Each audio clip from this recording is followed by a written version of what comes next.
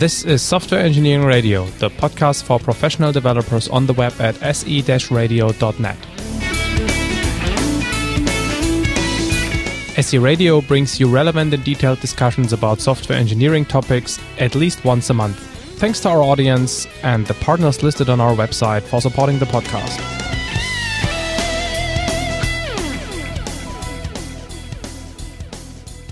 Welcome to another episode of Software Engineering Radio. This episode is, um, well, you could say a continuation of a topic we already had. It was actually in episode 62 when our guest was already uh, on SE Radio.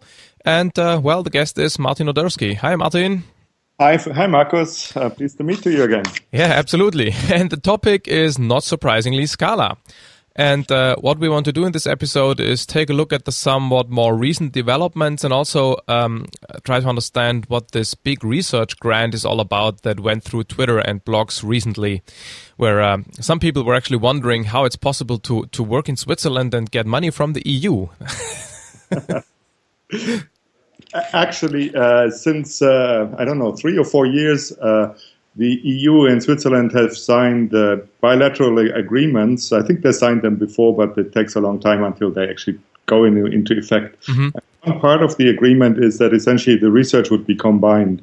That means ah. that Switzerland pays into the budget of this uh, the, the, whole research grant and receives money for the grants uh, in return. Ah, okay. And I must say, it does very, very well at that. Uh, I just looked at the total number of grants received per university. So EPFL Lausanne is number two in Europe after Cambridge. Oh. And I think uh, ETH Zurich is number four. So they might get more than their shares of money that they pay, but that's good for them. Well, that would explain the deal. so, okay. Um, good. Um, so let, us talk a little bit about um, uh, actually, I don't exactly know at which uh, version number Scala was when we did the last episode. I assume that uh, some of the 2.7 and 2.8 language features we haven't talked about back then. So, do you want to give us a quick recap? What has changed? What's new in 2.7 and 2.8? Um, 2.7 is a long time ago. I think in 2.7 we changed some, we added maybe some small things. 2.8 was a big step release. Uh, the main, uh, but it was mostly uh, a cleanup, uh, paying back technical debt kind of release. Mm-hmm. So over the uh, two series of releases, we saw that there were some things that didn't work out quite as well as we had hoped. one was the integration of arrays of into into into Scala because Java arrays are very very restricted, and we wanted to make them into full blown collections like any other collection type.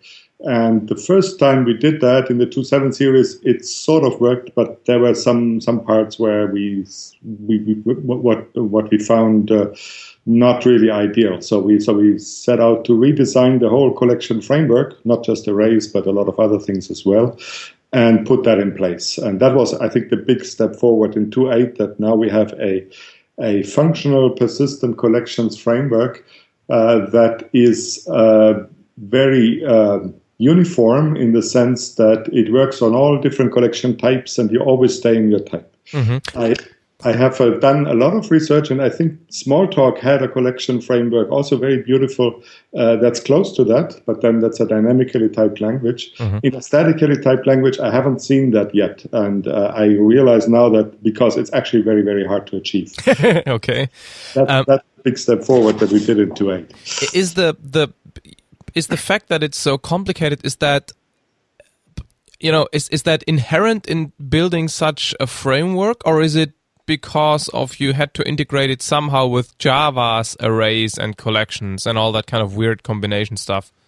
Uh, I, there were two different set of problems. So the, at first, the first problem is yes, it's inherently very very hard mm -hmm. uh, mm-hmm. because uh, the uh, it's just a new dimension collections that return collections and that always have to return the same collection you started with that you achieve all that without actually duplicating the code in every collection because that would be unacceptable you would end up with far too much code and you would have far too many opportunities for inconsistencies that way uh, so that's something new. Uh, if you look at, let's say, plain Java collections, then they don't do that. So you create a reaction, uh, collection, you read from a collection an element, you can update it, you can delete it. So that's just plain old CRUD collections. Mm-hmm. So there's never enters the fact that you say, well, I want to transform the whole collection, map a function over it, filter it with a predicate, and I want to get back a, a, collection of the same type. So if I do that on a set, I want to get back a set. If I do it on a list, I want to get back a, list. If I do it on an array, I want to get back an array. So Smalltalk did it uh, very beautifully uh, at the time, and since then, I think very very few uh, uh collection libraries did it. Certainly not C++, certainly not Java. And uh, the reason I believe is that to do that in a statically typed setting is just very hard. So it's a type system problem, right? It's a static type system problem okay. that to be able to express that in a way that avoids code duplication. Mm-hmm. Then there was the other bundle of problems to say, well, how do we cleanly integrate sort of the, the old, good old Java types like arrays and strings and things like that into that framework?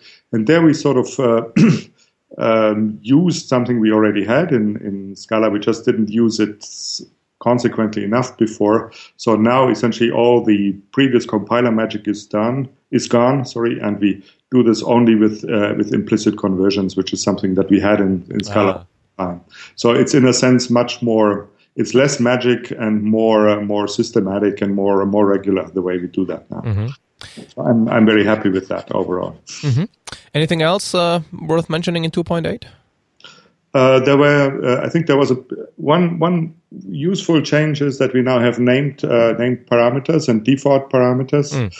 um, and uh, there were a couple of other small changes. Uh, we have package objects, type inference has gotten better. that's what, that's about it. Yeah. Mm. So, what's planned for 2.9 and 3.0? Okay. well, uh, 2.9 is uh, is close to being released, so I can talk about that uh, mm-hmm. with confidence. So uh, the the biggest change in 2.9 is uh, parallel collections. So we take the collections framework and we make uh, give you optionally the the possibility to interpret all operations in parallel.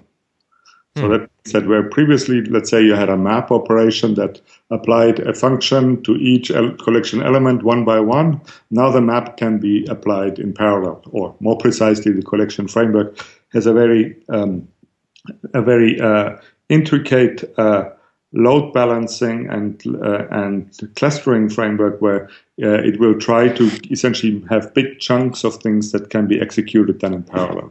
Because if you have, a, let's say, a list of 10,000 elements and you want to co- construct 10,000 tasks to execute each element in parallel, that's probably not the smartest idea because you, any gain you get in parallelism probably will be eaten up 10 times by the overhead of creating so many tasks. Right, right. So how, how does the framework find out, let's say, how many cores or processors or whatever are available in the underlying execution framework or execution runtime system to do this efficiently? Uh, it uh, it works with fork join thread pools. Uh, so with Doug Lea's fork join framework, and I, I don't know the details, but I think there's a way to find out how many how many processes you are. Okay. Yeah. So in other words, it's the other framework's problem to find that out. That's right. Yeah. Okay. Yeah. Mm-hmm. Um, and 3.0, it probably sounds like, or, or will there be 2.9.1, 2, 3, 4, 5 years? Do you have any plans for 3.0? Uh, no, not really. So, uh, so I, I, expect to get more uh, libraries and and more. Uh, I think the focus will be will continue to be in parallelism. Uh, otherwise, for 2.10, it's still not that uh, not that clear. Okay, so they actually call it 2.10. no, even even that is not clear whether it will be 2.10 and 3.0. That will be depend a little bit on how far the, how big the delta is from 2.9. Right. And uh, since a lot of that is essentially exploratory, and there's certainly a number of things we'd like to try, but none of the things I want to commit to yet. Okay. So, um, what do you think about the you know the adoption, the the Java, uh, Java Scala community? How do you are, are you happy with how it developed or develops?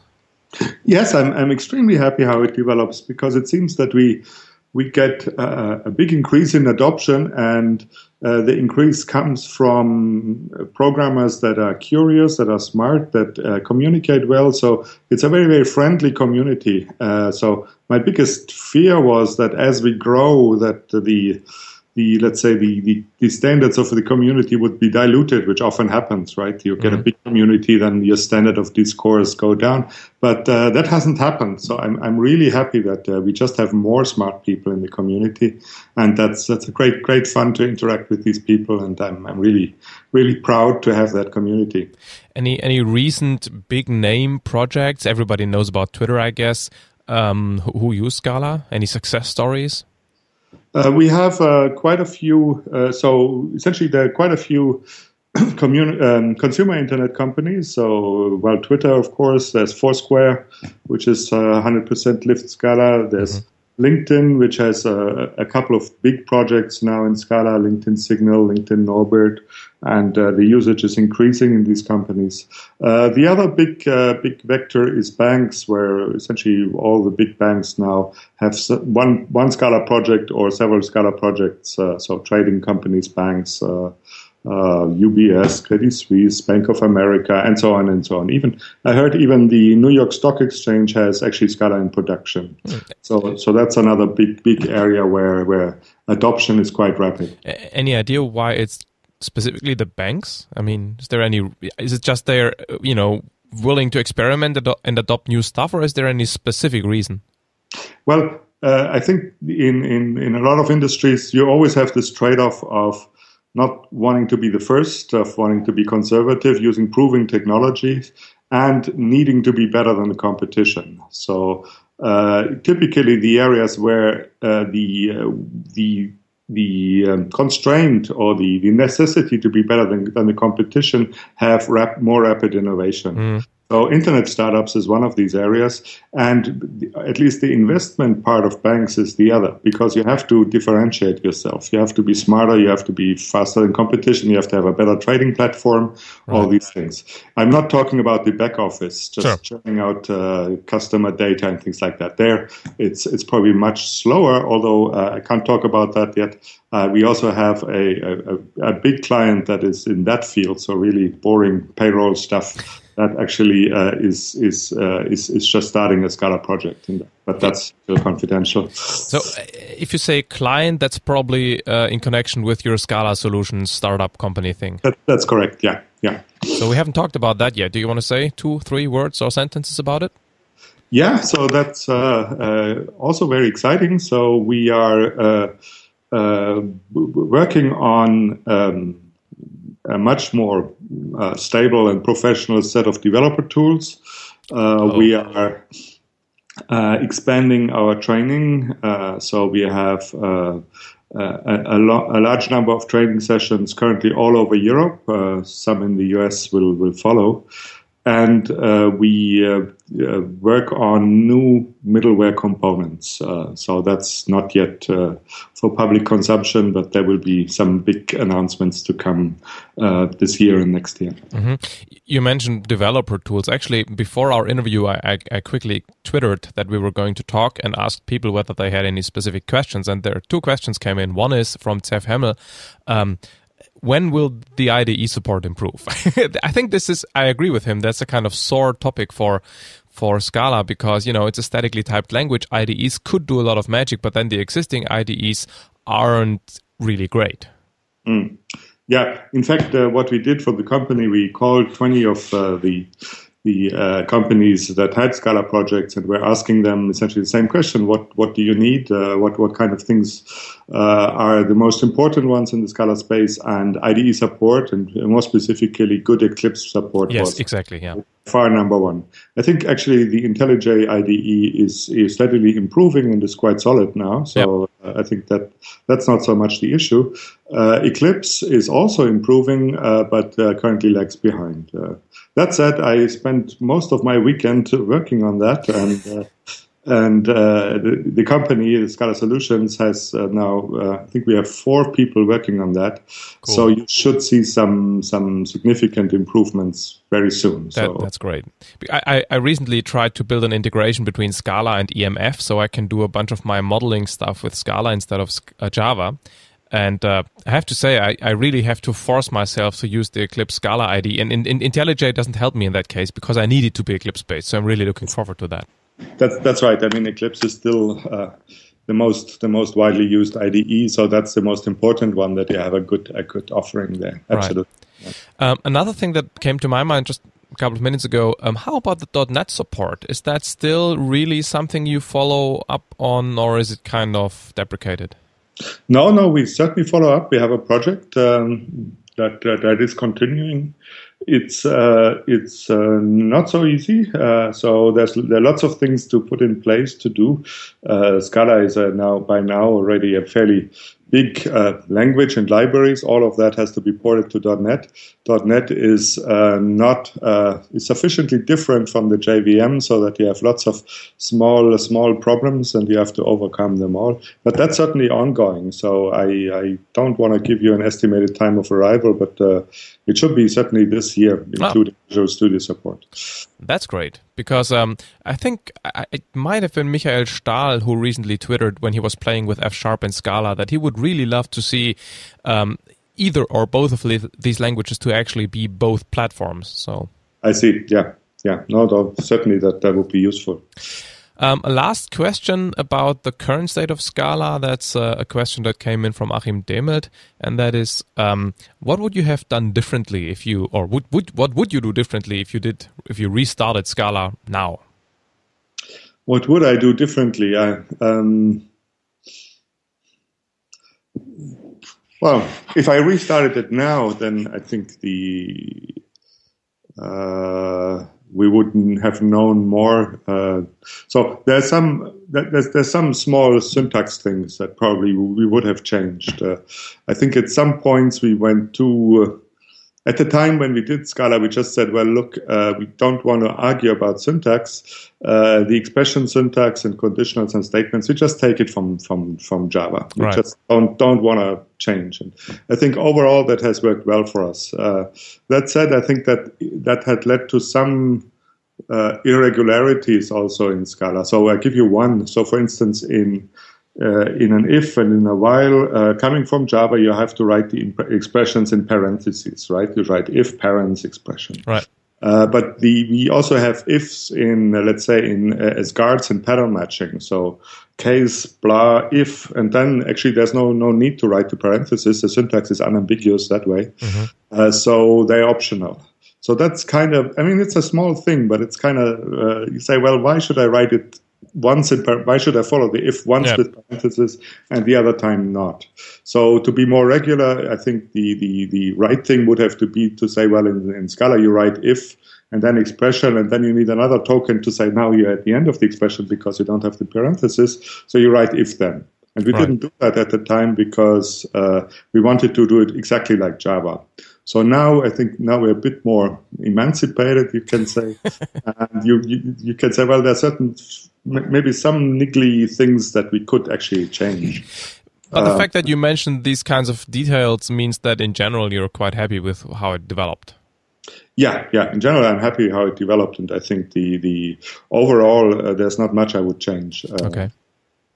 So one thing I, I briefly want to uh, talk about before we go to the to the research um, project, um, and that is you recently talked about or blogged about these uh, Scala levels, you know, you know, competency skill level of various people, and um, I looked at it and it it um, well.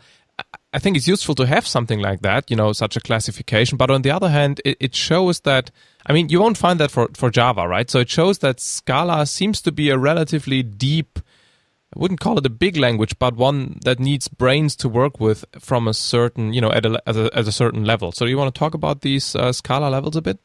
Yeah, so so that was essentially just to, yeah, to to uh, clear things up. So uh, the, the uh, you probably have also seen on the internet there's a big debate whether Scala is a complex language or a simple language. There are yeah. a lot of people, uh, most people who have actually never tried Scala seriously they tend to say, well, it's a very complex language. And a lot of people who have tried it say, no, no, that's not true. It's a very simple language. So what is it? So I think in the end, it's probably both. Um, so uh, if you look at simplicity, so for instance, there's this uh, wonderful Kojo environment for learning programming using Scala. and that shows that essentially a whole number of of, of, a large number of kids uh, uh, can can can program it, and not with kids at that. They are kids from Indian Indian uh, poor families that mm-hmm. go to some Indian school and they use this stuff. Uh, so that works, and I've seen a lot of kids that pick it up and say, "Well, this is easy, no problem." Uh, but then you see essentially some type signatures, and they are quite complicated. and, and if that's the first thing that you see, you say, "Oh my God, this is I, I will never understand this." Yeah. So, so the levels was sort of an attempt to say, "Well, how can it be both?"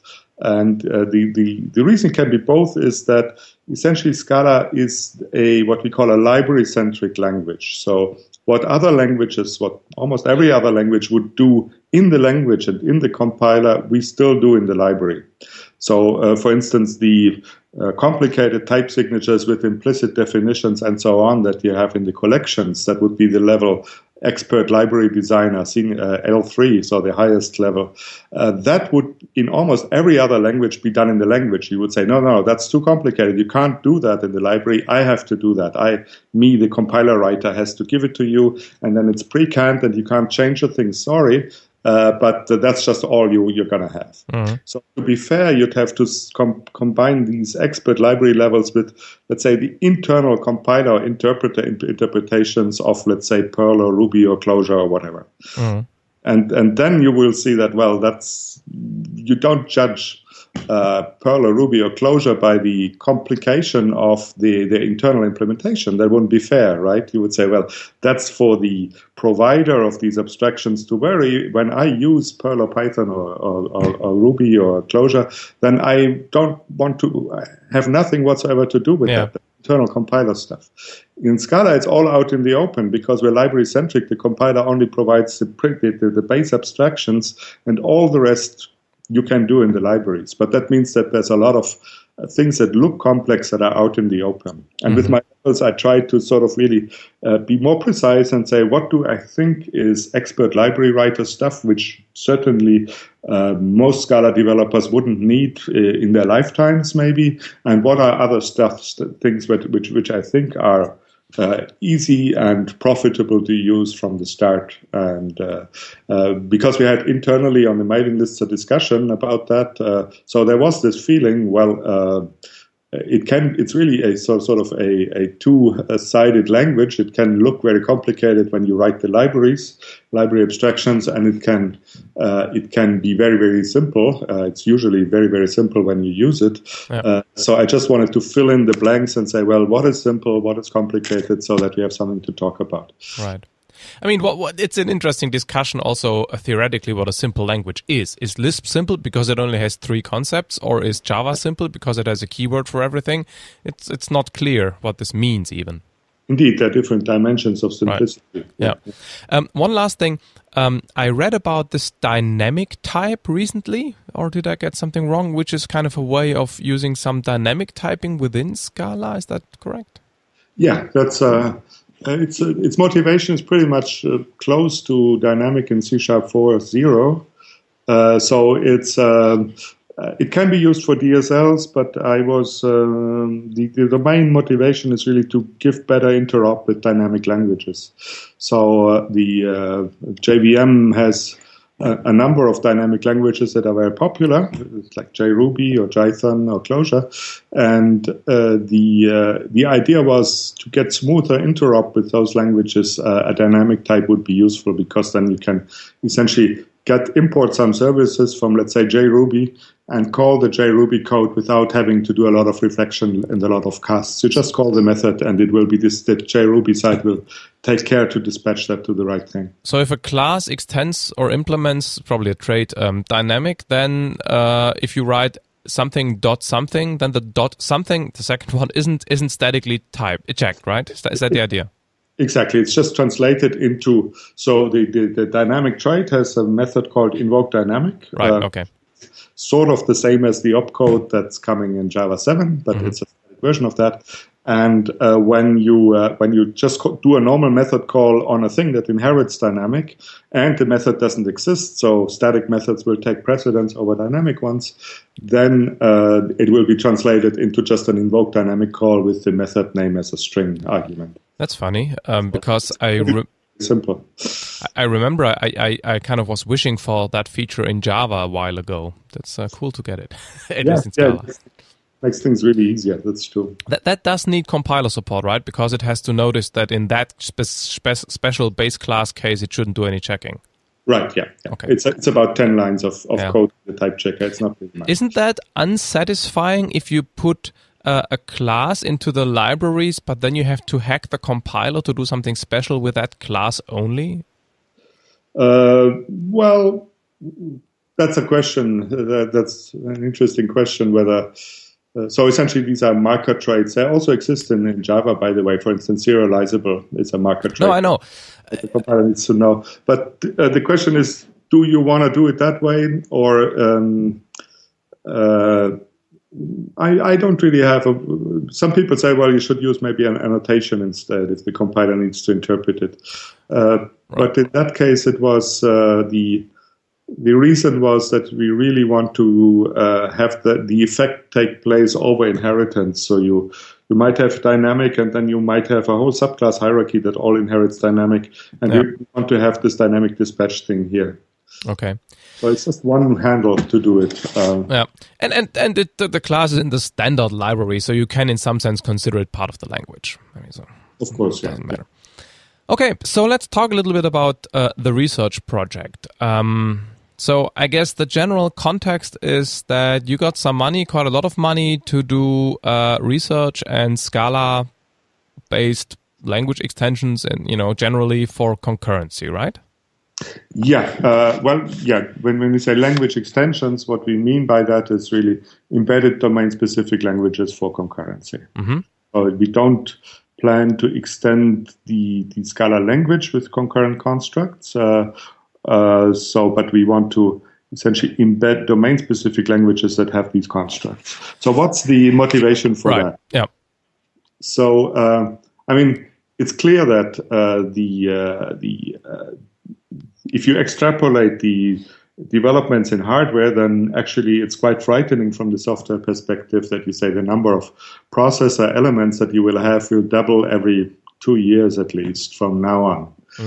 So if you extrapolate that 10 times, then uh, you say, well, that will be a factor of 1,000. So if we deal now with four or eight cores, we will deal with close to 10,000 cores in 10 years. So what do we do with those?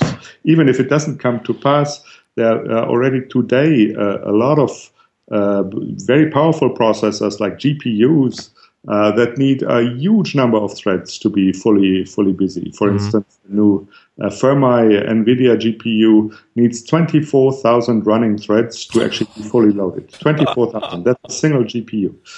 So the question is, what do you do with that? Uh, and right now, I think we all close our eyes a little bit and say, well, uh, if we're on the server, we just uh, distribute our connections over more cores, we're okay.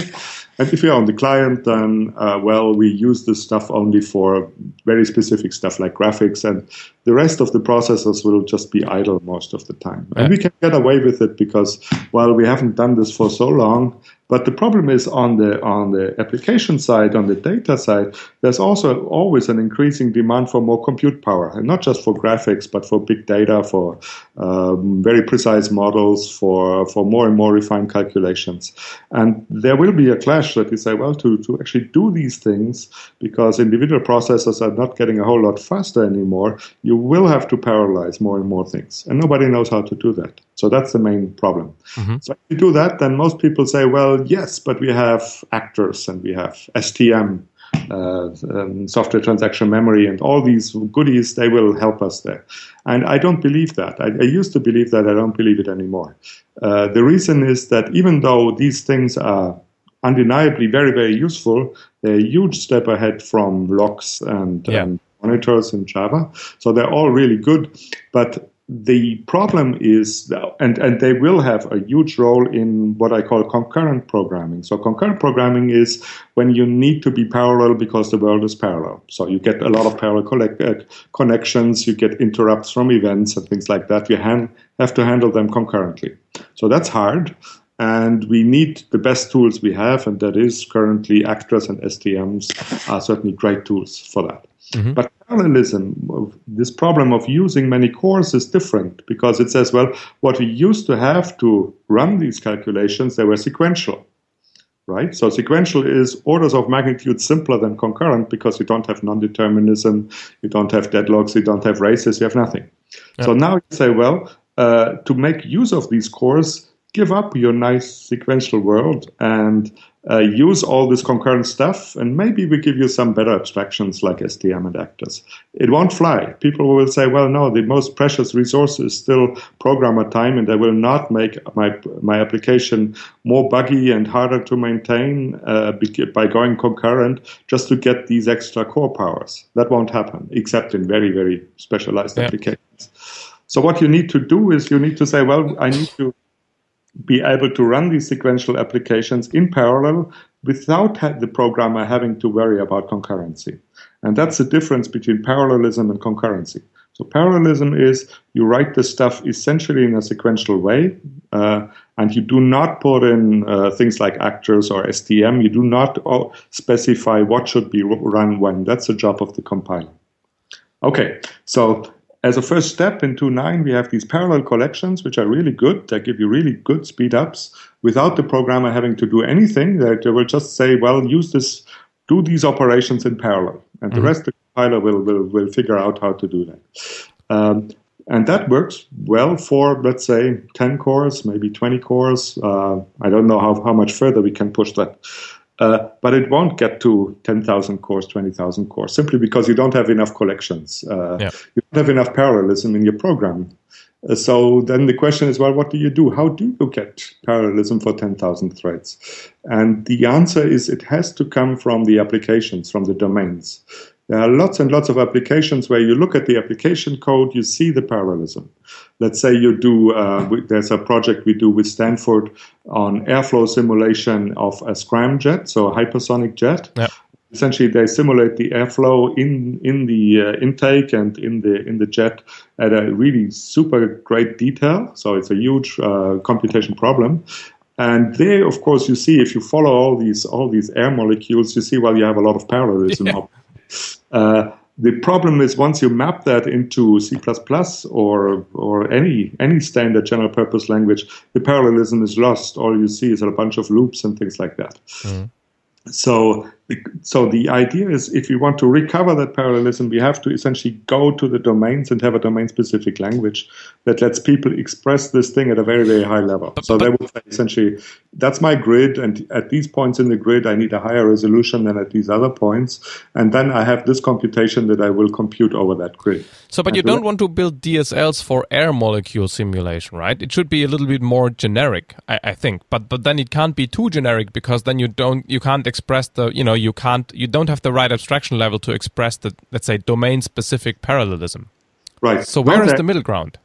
Well, there is actually an, uh, a DSL for physics simulation, which is called Liszt, which is embedded in Scala, which does precisely these things. So they are pretty. So there are other DSLs for, let's say, machine learning, uh, optimal for probabilistic calculation, for uh, there, there, there, would be a great opportunity for, let's say, protein folding, uh, climate simulation, these sort of things. So they are essentially broad areas where, yes, we do want to want to do a DSL, but you're right because there are many DSLs. The question is, well, you can't really write them from beginning to end uh, with a parser, with a compiler, with an optimizer, with a debugger, with an Eclipse IDE plugin. Would be way too much work. Well. That, that, that, that's an interesting discussion, but we shouldn't have it now yeah. So the beauty is that uh, by embedding it into Scala, most of the work can be shared and reused. So essentially, there's a modular framework that a lot of the elements of these DSLs can actually be used across DSLs. Every uh, every DSL will have some form of expression language, and yeah. uh, since there's Scala embedded, we, we typically say, well, that probably is will be the Scala expression language, and you can share that. Uh, so the tricky bit with that, though, to, to finish off, is that if you just embed them into Scala, the normal ways you embed a DSL, right, as, as essentially libraries, method calls, and things like that. Right. Then again, your DSL is, uh, in the end, but when the compiler gets to see it, it's just Scala code, and the parallelism is gone. Or it's much harder to recover that. Yeah. So, so there's actually a twist to it, and to say, well, what these DSLs do is when you run them, they will not run the code, they will not run the airflow simulation, they will do much less, they will just construct a model of themselves. essentially, the airflow program will say, well, here's, here is my structure, that's what I'm supposed to do. And then at a, at a backend step, a second uh, optimizer would come and say, okay, so that's the Airflow program. Uh, I'm running on this cluster hardware. Let's optimize uh, this program on that hardware. But so, that's a backend step, which is not, this, not the central Scala compiler. The Scala compiler essentially only is there to go from the DSL to its internal representation, which is uh, which is the uh, the best optimization uh, uh, representation for optimization. So let me try to to try to explain what I've understood. You put Scala code, well, you put DSL code into a Scala program. If you run it, it builds an abstract syntax tree of its own, right? Basically. Uh, it's it's more a data flow graph. Yeah. Well, okay. Not... Well, an abstract syntax tree with all kinds of more or less semantic annotations. Right. Right. Right. Exactly. Okay. Then, then what, hap- what happens first? This is obviously translated to, well, first the Scala compiler translates this so you can actually run it. So then when you run the program and this tree or graph is built, then you need something that transforms and optimizes this graph. Exactly. And then outputs what? That it depends. Outputs, on... That depends where you run it. It, right. Out, it, it, can output CUDA. It can output uh, MPI on clusters. So put plain plain JVM code. So, code. so here is what I don't understand, or what I maybe I do understand, and I want to ask about it. Um, so it's possible that this running Scala program creates, let's say, C code. Of course, yeah, that's possible. That's so actually. You, there's a prototype that exists that does that. Yeah. So you don't. So you don't really. So you do embed the the DSL code into Scala, but it doesn't necessarily run as part of a Scala program because you can't easily, quote, dynamically load a C function into a running Scala program. That's also right. Yeah, yeah. So that that it poses some limitations to it. So usually, what you do is uh, that you uh, in the backend you have a splitter which says, okay, this I can run on on on normal bytecodes, and this other other stuff is essentially CUDA or OpenCL, and that will run on the GPU, and the compiler will take care of to to to move the data back and forth. So, so we haven't got, gotten this integrated thing yet. I mean, we have five years to work on it, but that's the idea that we do that. Right now, we have sort of individual bits and pieces where we say, well, yes, we can map to C, we can map to CUDA, but uh, but we have to integrate it all into a into a common thing where where then really the the core would be uh, would be standard Scala execution on let's say JVM, and the other thing would be just sent to special purpose processors. Right, because I mean the the from my perspective, there are two aspects to embedded DSLs. One is the syntactical embedding, so you can, as you said, reuse parts of the Scala expression language, for example, in your own DSL. That's right. Yeah. But then there is the embedding of the running program. Like if you think about uh, Rails, then the embedded Rails DSL program runs as part of the execution of the Ruby program in which it is embedded, and that is not necessarily true in your case, right? No, that's not necessarily true. That's right. That it could could run elsewhere. Okay, that that's interesting. Um, okay. Well, I, I I could probably discuss about this for an hour or so, but but yes. we shouldn't do this now. I'll send you an email. Um, okay, so um, there is this term polymorphic embedding that's used as the let's say pattern for building these DSLs. Do you want to say three words about that? Yeah. So so the the point is, uh, it, it comes down to the splitting. So you have an embedded DSL. So that means essentially you start off with a Scala program. Some parts of it are this DSL, let's say, for airflow simulation. Mm-hmm. Uh, but uh, other parts might not be. I mean, there might even be several DSLs. There might be a visualization DSL, an airflow simulation DSL, and essentially a Scala program that ties these two together. So the question is, which is which? How do we know whether an expression is just a plain old Scala expression or whether it should essentially reflect itself and construct a tree. Mm-hmm. And the way we know is with the types. Uh, so essentially, the way we do that is that we have in a DSL, we would have, uh, let's say, the the, the airflow type uh, simulation.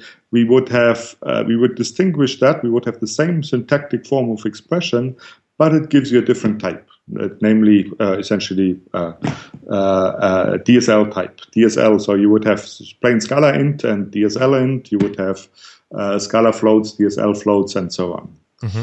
Uh, what is a DSL int then? I mean, at runtime when you run it, well, it's it's uh, not uh, a 32-bit number. It is an expression, so an AST or uh, in our case a data flow graph or whatever you choose, that when you run it will return an int. Mm-hmm. Okay, uh, so, and that's essentially the polymorphic embedding that we say, well, well, you can have the same form of expressions, and depending on what type you are, and the types get determined essentially, you can just inherit traits and they will fill in the types. Uh, they could mean this thing or this other thing. Okay. What's nice about it is that it lets you easily debug the whole thing. So you could say, well, never mind performance right now. I just want to run this as a Scala program. Right. So I can just say, well, DSL int equals Scala int, and the whole thing will be run just as a normal Scala program. And afterwards, when I say, well, I need the performance, I can actually play games with that and say, well, now I want to reinterpret the DSL int type and say DSL int is really my data flow graph that when run will would return an int, and then I pass this whole thing to my backend processor that will spit out optimized parallel code. Okay, but that's that's why we say it's polymorphic. That means it could be many things. Uh, you don't you don't burn it in from the start. What kind of interpretation your expression will have? It could be DSL thing, or, or it could be standard Scala thing. And then these different DSL things build different ASTs or data flow graphs, and then they are translated differently. Uh, yeah, they would be translated differently, uh, even though typically uh, the the uh, the data flow graphs would uh, would all be uh, built on a common framework to right. be able to reuse common optimizations. Okay, so just to, to make sure we we me and the listeners really understand the DSLs you're going to build are not general purpose concurrency expression DSLs like actors or message passing or something like that. These are really specific DSLs for specific purposes. And what you're going to do is you kind of build a couple of examples to prove the approach, not build bunch of, re, you know, DSLs that everybody can use. That's right. Yeah. Okay. But, but the point is, if you really want to use these 10,000 cores or whatever, then uh, we won't get there with uh, with uh, with uh, standard no, I, general abstractions. I, so so the only way to get there is to essentially pick domain after domain after domain and say, well, I have a way now to make machine learning code fast. Yes. I have a way now to get make probabilistic computation code fast. I mean, so so it's not a silver bullet. It's essentially a way to to gradually get more and more applications to a state where they can actually use these 10,000 cores. Right. And for me, that's currently the best we can do. I don't know any other way how to how we could I, could use that otherwise. I completely, I mean, I absolutely agree. I mean, that it's not just true for concurrency. Actually, to be to all just you know things like productivity, just becoming more expressive requires domain orientation, and that's what I've been, uh, in some sense, working on for, for years with this whole DSL topic. And and so I obviously I think concurrency is one of these areas where, or um, let's say differently if you do air molecule simulation or, or, calculations, it's not just the ability to generate highly performant code that is domain specific. Also, the notations might be matrices and other, you know, uh, domain specific, mathematics specific things. So, using DSLs to express these concisely and then using a domain specific backend to generate efficient code is, is clearly the way to go. Exactly. Yeah. Yeah. So, in a way, it's to it's a way to reuse the expertise of uh, of uh, because I mean there will, there will still be a lot of expertise required. So somebody has to write these DSLs, and the, the, people who write the DSLs have to have the domain knowledge that they know exactly what's required on the simulation side, yep. and they have to have the concurrency knowledge. They have to know how to how to map these things efficiently. Uh, but the, the the point is you afterwards, after this is done, you can reuse it. Then the actually physicists or people using that, they don't need to know about clusters and MPI and all right. this stuff anymore. They can use the DSL. So yeah. that's sort of the promise that you do things once and then can reuse the the very precious expertise of the people who know how to parallelize as well. Right. And since you were talking about silver bullets, um, the silver bullet, if there is one, would not be you know the fact that you now have this general purpose DSL, which is a kind of oxymoron in itself, anyway. Um, but the the silver bullet would be the framework and the infrastructure you're researching to be able to quickly and easily, relatively quickly and easily, build these kinds of DSLs. Yeah, but uh, like I said, I don't think there is a silver bullet. No, I no, but that's the that's the advance you make to make building DSLs more simple, so it becomes practical for many domains. Yeah, yeah. I think I think now we have a we have a lever to to be able to push things. So I, the way I see it, uh, previously we, we had just no idea how to use 10,000 cores in a in a in a way that uh, that was reusable, and now we have. Uh, uh, an idea how this might work with continuous work. It's not a silver bullet at Right. all. It just means that uh, we have a way to canalize and organize the uh, the the work of that's still necessary of a lot of experts in domains and in parallelism. Yeah. Last question: Do you expect um, that it requires actual Scala language extensions to make this work, or do you think this can all be done with the existing facilities and put into libraries and, and fancy types? Um, it it will uh, require not so much extensions, but some slight reinterpretation. So there there is a there's, there's some small tweaks we have to do to the language standard, which are done. Uh, we have a branch uh, essentially for this work that does them in an experimental way. They haven't been rolled back into trunk yet. Uh, so what it re- requires is is actually very simple. So uh, Scala already lets you reinterpret plus or times or op- any operations, any method call, any way you like, because, uh, well, it's just a method call, and on your new types, you can reinterpret these methods any way you like, right? Yeah.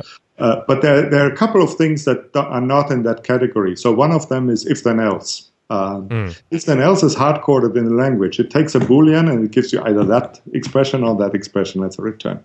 And in DSLs, let's say I, I want to do a DSL that uh, uh, does continuous evaluation of a signal. So then I want to say, well, my that it would make perfect sense to have an if then else, which says, well, for the periods where essentially my conditional signal is true, I will evaluate my resulting signal to the then part, and otherwise I will evaluate it to the end part. So then the if then else wouldn't take a boolean, but a signal of boolean as its condition. Right now I can't do that because the if then else is, is, is a hard is a language construct. So what we do in the virtual what we call language virtualization and in the virtualization branch what we do is essentially we take if then else and the the other couple of remaining constructs so it's while do and for loop no for loops are already virtualized but while loops and tries and things like that and we map them also to method calls that you can override. Okay.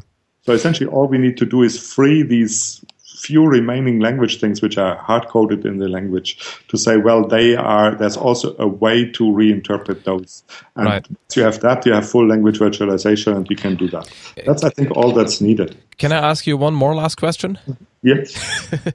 Um, now, once you have this nice high level DSL for airflow molecule, whatever, um, and then, then of course you do have a, a custom backend and you have a custom notation, uh, custom in the sense, you know, whatever you can do with Scala's flexible syntax. What about IDEs? I mean, do you think about being able to use some, let's say, meta programming in the furthest sense to, to adapt the IDE so you get domain specific code completion, domain specific error messages beyond what you can do through magic typing? Because these, these type errors will not be domain specific. They will say something about types and nobody gets what it means. Yeah, that's a very good question. Uh, generally, for DSLs, uh, it's a general problem with embedded DSLs that you say, well, Right. uh, in the embedding you get all the errors in the in the host language and not the embedded language. Um, and and that, that that can be a problem because then if you ship this uh, this fancy new embedded language, let's say to a physicist, and to say, well, you use that, but if you use other things, it really would help if you knew Scala as well, because that's in the, in the end what you program. And then, well, maybe not every physicist will jump at that and say, yeah, Scala was the thing I wanted to learn anyway for, for all all this time. yes. So, so, so what do we do there? So, so I think one possibility which we want to explore is to have uh, something like like profiles. So that we one idea would be that we could at the head of the program say essentially what language are we talking about, and then we could use our plugin architecture of the compiler to say after the parser, after the parser is done, we essentially would check whether the program that's written here actually conforms to the DSL that was declared. Right. So say I want Liszt, uh, then the, the, the, the checker would actually check that on, you, you use only Liszt constructs. And you could push that so far that this checker that would run before the general uh, Scala type checker would be so uh, refined that it would catch all type errors as well. Once you do that, then you you know that afterwards, essentially, once you get to the real Scala type checker, uh, all this stuff is just for translation. There wouldn't be any errors anymore. Right. Uh, so that would be nice, and I think it's doable. It depends how difficult the typing problems in DSLs are, but typically they're much much simpler Yes. as, as typing problems in the base language. Uh, then the next question is how do you do push that into completion and other the other IDE features? And that's indeed a very good question, and that's also some of the questions we want to look at uh, in the research program. Okay.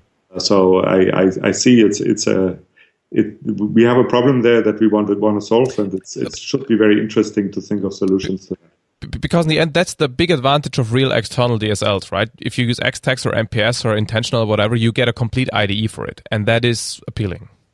But somebody has to write that. Yeah. I'll get back to you. Okay. okay. Um, thank you very much. That was very interesting as an update and an outlook of what's going to happen. Thank you, Markus. It was fun talking again. Good, very good. And uh, well, have a nice what is it Monday? Have a nice week. Have a nice week too. You Thanks. too. Bye. So that's it. Uh, thanks everybody for listening, and of course, once again, thanks to Martin for being on the show. I think this is a very interesting project, and it's also. I really like to hear what he says, right? I mean, this this statement that you can only become significantly more efficient if you become domain specific is is clearly aligned with my line of thinking. So great to see that. And, and it's going to be interesting. I mean, I've worked a lot with DSLs with various tools and you probably, when you listen to it, you, you heard me almost say the word MPS, right? But, um, it will be interesting to see how far they can actually take it and use a text only language, you know, and, and, and the question will be mostly, from my perspective, this ability to customize the IDE. Anyway, I'm certainly going to follow it. Fascinating topic. And, um, I hope you found it interesting as well. Let us know what you think. You can reach us at team at se-radio.net. And, uh, well, uh, that's it. Bye.